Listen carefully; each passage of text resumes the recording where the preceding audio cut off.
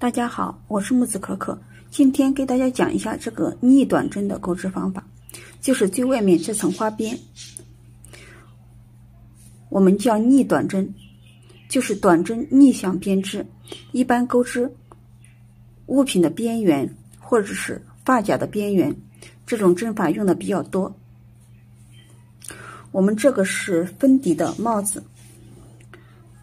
我们在边上钩一圈这个逆短针，下面来讲一下它的钩织方法。我们正常的短针是往从右往左进行钩织的，那么逆短针顾名思义是逆着来的，就是从左往右进行编织。大家看一下针法，我们钩针编过前一个逆向的，穿过后面。这一个针目，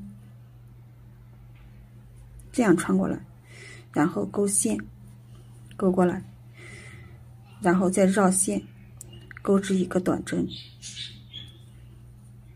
这样就一个逆短针。下一个同样的往后面穿过这个针目，然后勾线过来，然后绕线，钩一个短针。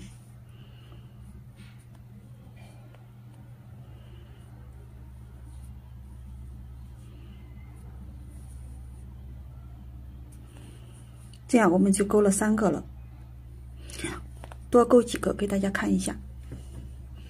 这个黑色的线可能看不太清楚，我慢慢来织，大家看一下针法。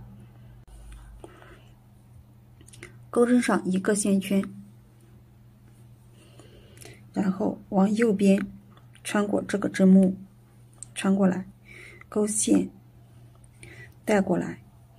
这是钩针上是两个线圈，然后绕线一起去掉，一起去掉。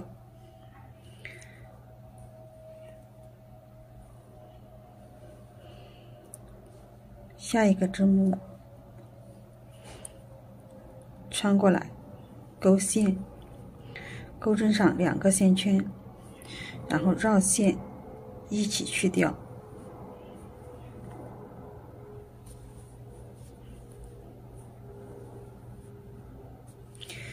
这就是逆短针勾出来的花样，就是这样子的。